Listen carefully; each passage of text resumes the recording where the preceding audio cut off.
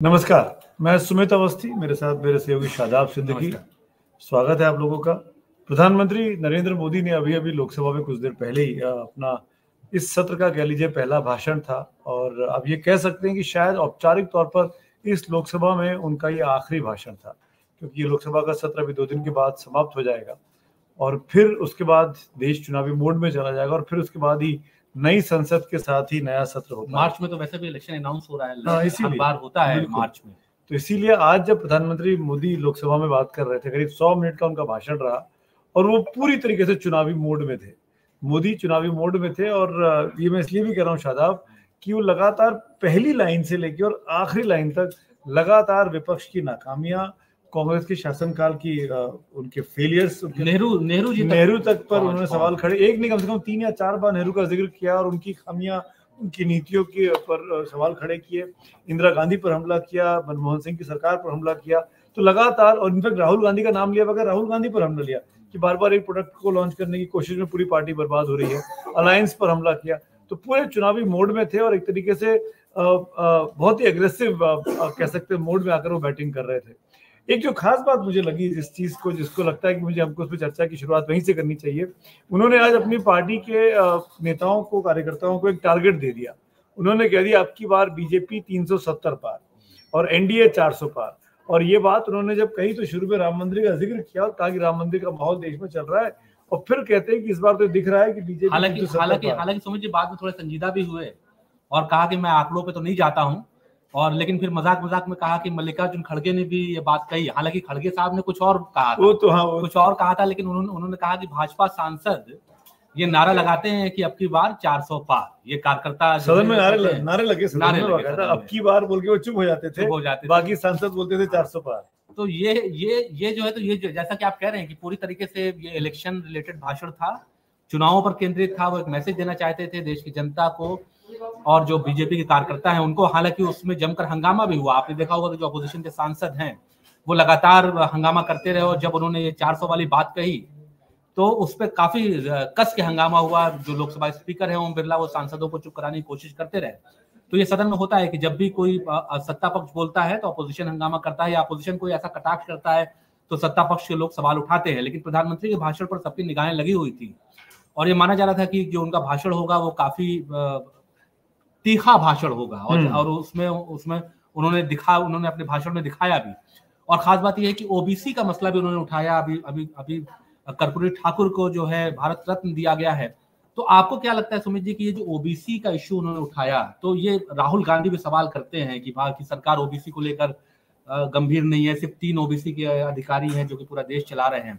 तो उस पर भी उन्होंने एक, एक अपनी बात रखी। तो ये ओबीसी वाला मुद्दा आपको कितना महत्वपूर्ण लगता है? देखिए, बहुत इंपॉर्टेंट है इसीलिए कर्पूरी ठाकुर को भारत रत्न देने का बात बीजेपी ने किया। वो बीजेपी जो कर्पूरी ठाकुर को आज तक पूछती नहीं थी, प्रधानमंत्री मोदी ने उस नरेटिव को चेंज करने की कोशिश की। कर्पूरी ठाकुर अति पिछड़ा वर्ग से आते थे, नाई समाज से आते थे और उस समाज के को इम्पोर्टेंस देकर एक कोशिश की पीएम मोदी ने या भारतीय जनता पार्टी ने कि ओबीसी वर्ग को अपने साथ लेकर आए।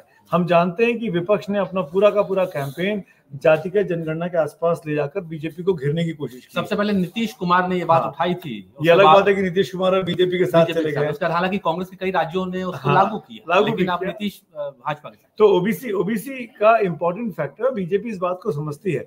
तो बीजेपी ने कर्पूरी ठाकुर को दिया फिर कल लालकृष्ण आडवाणी को दे दिया भारत रत्न।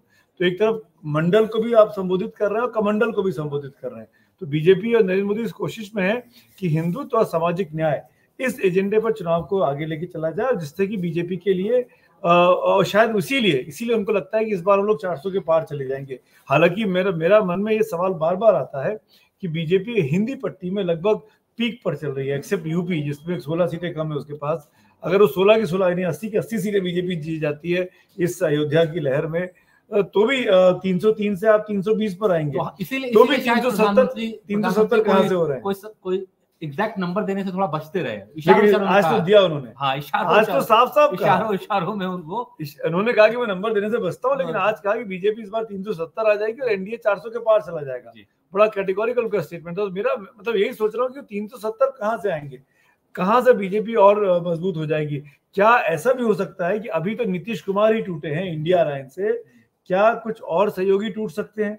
क्या महाराष्ट्र जहाँ पर उद्धव ठाकरे और शरद पवार हैं क्या ये भी राहुल गांधी से या कांग्रेस पार्टी से नाराज़ हो सकते हैं। देखिए ऐसा लगता है कि महाराष्ट्र में इसकी संभावना कम है क्योंकि वहाँ पे जो महाविकास अघाड़ी है उसकी मीटिंग चल रही है और दो दिन पहले भी मीटिंग हुई सी, सीटों को लेकर बातचीत चल रही है। जो दूसरा दूसरे सहयोगी दल हैं जेएमएम जेएमएम ने अभी आज आज मेजोरिटी प्रूव आज तो बीजेपी को झटका लगा झटका लगा प्रयासों के बावजूद नहीं कर पाए ममता बनर्जी जा नहीं सकती अखिलेश आ नहीं सकते। मायावती ने ऐलान किया है कि वो अकेले इलेक्शन लड़ेंगी वो किसी के साथ नहीं जाएँगी। तो कोई नया साझेदार तो ऐसा लगता नहीं है कि बीजेपी के साथ जुड़ेगा। हाँ हाँ ये ज़रूर है कि जो जो यू जो इंडिया अलायंस है इसमें जो मतभेद दिख रहा है इसका फ़ायदा ज़रूर भाजपा को मिलेगा इसलिए शायद प्रधानमंत्री इतने कॉन्फिडेंट आज दिखाई दिए नंबर बताने लगे। एक एक सवाल और भी उन्होंने उठाया आज अपने उसमें परिवारवाद। हम्म, उन्होंने कहा कि परिवारवाद खासतौर पर कांग्रेस पे उनका फोकस रहा कि कांग्रेस परिवारवाद को बढ़ावा देती है। हालाँकि देखिए परिवारवाद की जो बीमारी है वो सभी राजनीतिक दलों में है आप तमाम आप आप समाजवादी पार्टी को देखें वो एक मुलायम सिंह यादव उन्होंने यादव उन्होंने दो बातें बड़ी क्लियर भाजपा में भी परिवारवाद है ऐसा नहीं उन्होंने उन्होंने उन्होंने कहा शादाब उन्होंने कहा कि मेरे हमारे लिए परिवारवाद की डेफिनेशन ये है कि वो पार्टी जिसका अध्यक्ष एक ही परिवार का व्यक्ति बने हाँ। एक ही परिवार के लोग तय करते हो उस पार्टी में क्या होगा एक ही परिवार के लोगों के द्वारा वो पार्टी चलाई जाती हो। तो ये इन्होंने डिफाइन किया कि परिवारवाद की डेफिनेशन बीजेपी के लिए क्या है। उन्होंने नाम लिया कि राजनाथ राजनाथ सिंह अमित शाह परिवारवाद की नहीं इनकी कोई अपनी पार्टी नहीं है। उन्होंने नाम नहीं लिया आरजेडी का कांग्रेस का या उद्धव ठाकरे की पार्टी का पर उनका इशारा साफ़ था कि जो पार्टियाँ एक ही परिवार के व्यक्ति के आधार पर चलती हैं उसी परिवार के लोग उस पार्टी को आगे बढ़ाते हैं वही उस पार्टी के फैसले करते हैं उन लोगों को हम पर, उन उन पार्टियों को हम परिवारवादी पार्टियाँ जी इसीलिए हमने अखिलेश यादव और या लालू यादव या जो इस तरह के दल है उनका उन पे सवाल उन पे सवाल खड़े किए क्योंकि उन, उनके यहाँ उनके गुंजाइश नहीं होती है किसी और के लिए। हालाँकि देखिए कांग्रेस ने इस बार इस बार मल्लिकार्जुन खड़गे को बनाया है। आप इसको देखिए कि उन्होंने इस बार जो इससे बचने की कोशिश की है और खड़गे साहब को आगे करके उनको अध्यक्ष कांग्रेस को ये बात समझ में आ गई है। आज से नहीं आज से नौ साल पहले आठ साल पहले जब बीजेपी ने पहले ही दिन से परिवारवाद पर हमला करना प्राइम मिनिस्टर मोदी ने शुरू किया था राहुल गांधी ने इसीलिए उन्नीस का चुनाव हारने के बाद सब चीज़ अपने ऊपर ली और इस्तीफा दे दिया। अमेठी का चुनाव जब हारे कि नहीं, मैंने पर लिया, मैं किनारे हो जाता हूँ। राहुल गांधी भरपूर तरीके से चाहते रहे कि कोई और अध्यक्ष आके बन जाए, लेकिन कांग्रेस पार्टी की मजबूरी है। कांग्रेस पार्टी के साथ दिक्कत ये है कि वो उनके, आप भी जानते हैं, मैं भी जानता हूँ कि उनके लिए पार्टी को अगर कोई बाइंड करके रख सकता है, ग्लू की तरह काम कर सकता है तो गांधी परिवार है। उसके बगैर वो रह ही नहीं सकते, वरना तो कितने नाम थे। गहलोत साहब को बना के मौका दिया, गहलोत साहब छोड़ के चले गए। खड़गे साहब भी मजबूरी में बने। खैर, अब ये हम और आप समझते हैं कि क्या खड़गे साहब ही असली नेता है? क्या खड़गे साहब के मिलने के लिए ताता लगा होता है? आज भी अगर आप देखेंगे राहुल गांधी के कमरे के बाहर ज़्यादा सांसद होते हैं जब वो संसद में होते हैं या खड़गे साहब से मिलने के लिए जी बिल्कुल। देखिए कांग्रेस में ये कहा जाता है कि गांधी परिवार जो है वो धूरी है। अगर गांधी परिवार हट जाएगा तो कांग्रेस पार्टी बिखर जाएगी ऐसा हम्म। कांग्रेस के सांसद कहते हैं। कांग्रेस तो तब भी परिवारवाद के नाम पर खड़गे को आगे करके कम से कम जो आप कह सकते हैं ना कि दिखाने को जो होता है रीजनल पार्टी तैयार हाँ, लेकिन ठाकरे को देखिए अखिलेश को देखिए तेजस्वी को देखिए इन उमर अब्दुल्ला को देखिए ममता बनर्जी को देखिए को आगे बढ़ाया किसी और को कमा। मायावती को आप देखें कि उन्होंने भतीजे को बढ़ा दिया। भतीजे को बढ़ा हाँ। दिया। तो कम से कम इन दलों में किसी और के लिए गुंजाइश नहीं है। कांग्रेस या बीजेपी में हो सकती है। कांग्रेस ने भी एक प्रयोग किया है। हालाँकि वो प्रयोग कितना सफल रहा है, इसका इसको आप अभी बताइए नहीं मेरा सिर्फ़ इतना कहना है कि बीजेपी का ये जो पिच है परिवारवाद वाला, और उन्होंने बड़े अच्छे से कहा पीएम मोदी ने कि ये जो परिवार से परिवार में चीज़ें ट्रांसफ़र हो रही हैं, ये लोकतंत्र के लिए खतरा है। और वाकई में सोचिए, अगर कोई कार्यकर्ता है कांग्रेस पार्टी का, एक माफ़ करिए, कांग्रेस नहीं, समाजवादी का, क्योंकि कांग्रेस में तो खड़के बन गए हैं समाजवादी का या आरजेडी का, क्या वो ये सोच सकता है कि कल जाके मैं भी पार्टी का अध्यक्ष बन सकता हूँ? ये चीज़ तो सब जानते हैं कि तेजस्वी होंगे, तेजस्वी का तेजस्वी का बच्चा होगा, या उनके फैमिली से कोई होगा। जब तक इस चीज़ को ये पार्टियाँ तोड़ेंगी नहीं, इनको खुद को तोड़ना पड़ेगा। इन परिवारों को जो जो सत्ता में बैठे हुए हैं, अखिलेश यादव जैसे लोग हो गए, तेजस्वी जैसे लोग हो गए, ये यंग लोग हैं ये इस देश के मूड को समझते हैं, इनको आगे आके अपनी पार्टी को परिवारवाद के चंगुल से निकालना पड़ेगा। जैसे राहुल गांधी ने एक बोल्ड स्टेप लिया है, कम से कम खड़गे को वहाँ बना दिया है। अब ये बाकियों पर ज़िम्मेदारी है। जी, बिल्कुल, जो रीजनल पार्टीज़ हैं वो राष्ट्रीय अध्यक्ष पद तो अपने पास रखती है प्रदेश अध्यक्ष दे देती है। जैसे नरेश उत्तम पटेल को समाजवादी पार्टी ने प्रदेश अध्यक्ष बनाया और सब थोड़ी ले लेंगे। हाँ तो, तो राष्ट्रीय अध्यक्ष बने रहते हैं लेकिन प्रदेश अध्यक्ष चीज़ मैं आपसे पूछना चाहता चाहता आपने ज़िक्र भी किया शुरुआत के ओपनिंग कमेंट्स में कि नेहरू पे बहुत हमला किया। तो कुछ चीज़ें जो आप कोट करना चाहें बताना चाहें जो प्राइम मिनिस्टर ने नेहरू जी को लेकर उनकी नीतियों को लेकर सवाल खड़े किए देखिए नेहरू नेहरू जी पर उनका जो अटैक था वो तब आपको याद होगा कि भाजपा के, के लोग जो है कश्मीर मसले को जिम्मेदार ठहराते हैं जो कश्मीर मसला बिगड़ा उसके लिए जिम्मेदार ठहराते हैं जवाहरलाल नेहरू को। इसके अलावा जो तमाम मुद्दे हैं उनको उनको जिम्मेदार ठहराते हैं इंदिरा इंदिरा गांधी को अटैक करते हैं। तो तो जो जवाहरलाल नेहरू मरने, उनके, उनको उनको मरे हुए बहुत ज़्यादा समय हो गया, आपको क्या लगता है कि क्यों आज भी रिलेवेंट है नेहरू? क्यों बार बार नेहरू की बात होती है? क्या ये मुद्दा आज भी आपको लगता है रिलेवेंट है? जनता पे इसका असर जाता है? देखिए नेहरू गांधी परिवार, उनका जो परिवारवाद की थ्योरी है, उस पर नेहरू जी पर हमला करके उनको फिट करते हैं।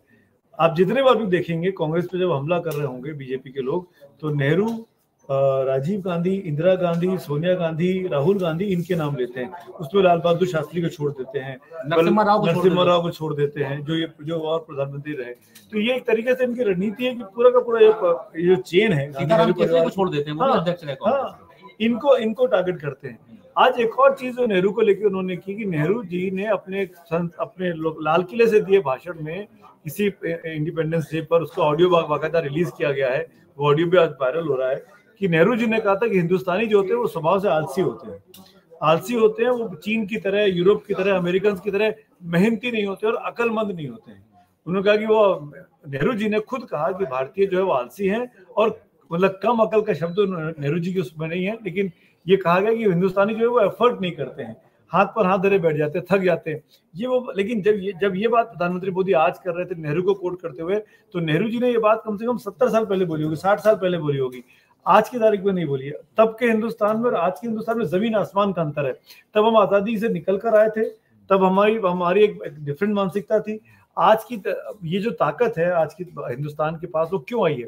क्योंकि हिंदुस्तान का युवा जो है, चाहे हम हमसे यंग जनरेशन जो है, जो 20-25 साल के हैं, वो दुनिया भर में नौकरियाँ कर रहे हैं, दुनिया भर में उनकी पहचान बन गई है। तो आज की डेट में जब हिंदुस्तानी इतना ताकतवर हो गया हिंदुस्तान के पासपोर्ट ताकतवर हो रहा है, हिंदुस्तान की करेंसी धीरे धीरे मज़बूत हो रही है, हिंदुस्तान को दो देशों को मिलाने वाला देश के तौर पर देखा जाता है, चाहे वो चीन और अमेरिका के बीच की बात हो या रूस और अमेरिका के बीच की बात हो, उन परिस्थितियों में आज की तारीख में हिंदुस्तान की ताकत बढ़ी है।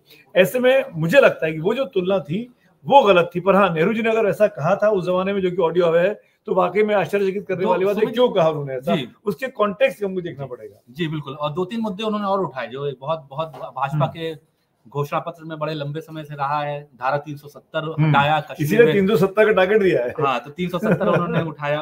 राम मंदिर का मुद्दा उठाया कि जो हज़ारों साल से जो एक देश के लोगों की भावना थी वहाँ राम मंदिर का निर्माण हुआ। तो जो जो जो इमोशनल इशू थे या जो हिंदुत्व के बड़े मुद्दे हैं भाजपा जिसको उठाती रही है, जिसको अपने घोषणा पत्र में हमेशा शामिल करती रही है।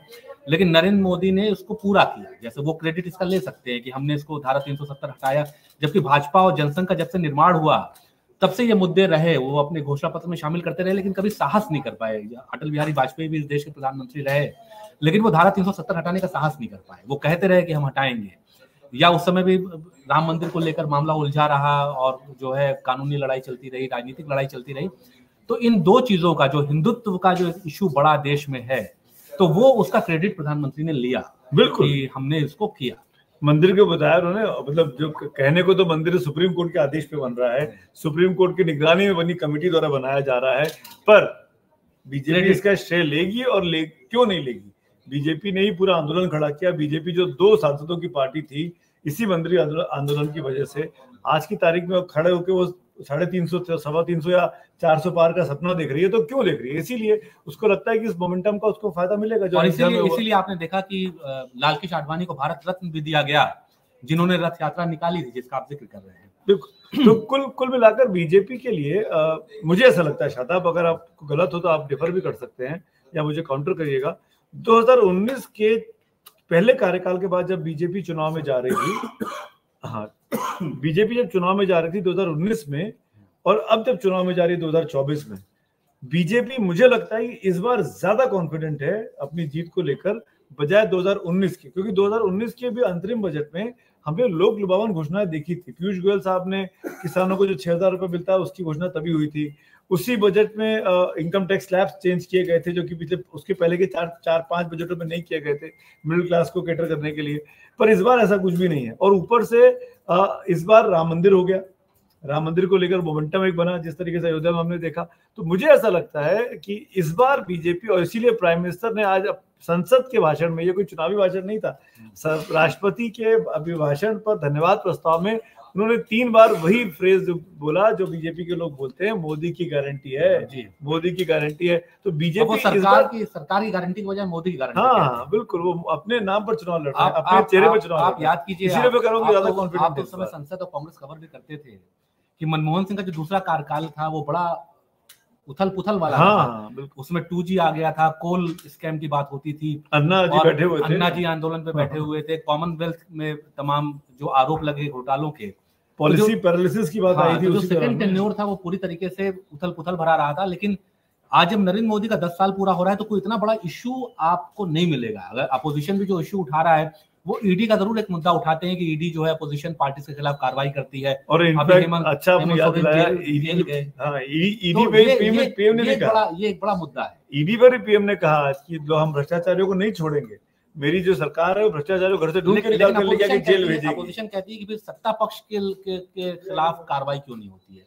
या जो नेता जो भाजपा में आ गए जिनकी एक लंबी लिस्ट है चाहे वो अजीत पवार हो या हेमंत विश्वा शर्मा के ऊपर आपको याद होगा कि अमित शाह ने जाकर प्रेस कॉन्फ्रेंस की थी शुभेंदु अधिकारी हो। शुभेंदु अधिकारी हैं। उसके अलावा छगन भुजबल के खिलाफ हुआ था। अजीत पवार हाँ। अजीत पवार के खिलाफ हुआ था। तो ये जो ये अब अब ये लोग जब बीजेपी के साथ हैं तो इन पे कार्रवाई क्यों नहीं हो रही है? ये एक बड़ा वैलिड सवाल अपोजिशन पूछता है। बिल्कुल, आपकी बात ठीक है। सरकार को उसको एड्रेस कैसे करेगी सरकार? पर क्योंकि अब है ना, एक तरफ़ आप ये जो मुद्दे उठा रहे हैं, उसके बाद जब आप देखते हैं कि कांग्रेस के सांसद धीरज साहू के घर से साढ़े तीन सौ करोड़ रुपए कैश दिखाई देते हैं। झारखंड के सिटिंग सांसद कांग्रेस पार्टी के तीन सौ इक्यावन करोड़ रुपए किसी के घर में ऐसे सजे हों, जैसे दीवार बनी हो नोटों की तो कैसे हो सकता है? ऐसे आपने कानपुर के उस व्यापारी के घर में देखा था जो इत्र व्यापारी थे नाम भूल रहा हूँ मैं। पीयूष जैन। हाँ ऐसे ही बंगाल में आपने टीएमसी के नेताओं के घरों में देखा कैश पकड़ते हुए। तो जब इस तरह के कैश दिखाई दे रहे हैं कैमरों के सामने तो जनता को लगता है कि हाँ ये लोग करप्शन कर रहे थे इसीलिए उनको पकड़ा गया। हाँ, एक परसेप्शन एक परसेप्शन परसेप्शन की लड़ाई है। पॉलिटिक्स तो परसेप्शन का खेल है। पीएम ने कहा कि एक लाख करोड़ रुपए ईडी ने रिकवर किए इन दस साल में। एक लाख करोड़ रुपए कैश बहुत बड़ी अमाउंट होता है हाँ लेकिन ये ये सवाल ये उठ रहा है कि सिर्फ़ अपोजिशन के यहाँ से क्यों रिकवर हो रहे हैं या जो लोग भाजपा के साथ चले गए उनके यहाँ से क्यों नहीं रिकवर हो रहे हैं ऐसा अपोजिशन सवाल उठाता है सुमित जी एक एक उन्होंने और भी कहा कि कांग्रेस पे उन्होंने हमला करते हुए कहा कि कांग्रेस की चाल बड़ी धीमी है बहुत सुस्त हम्म। रफ्तार से कांग्रेस काम करती है सरकार हम्म। तेज़ी से काम करती है तो हम्म। ये जो उन्होंने कंपैरिजन किया सुस्ती और तेज़ी का इसको आप कैसे देखते हैं संक्षेप इनफैक्ट जब वो शुरू कर रहे हैं उन्होंने अपना भाषण शुरू किया तो पहली लाइन में ये कहा कि वो लोग जो उस तरफ़ बैठे हुए हैं बहुत उन्होंने मेहनत की बहुत अच्छा किया।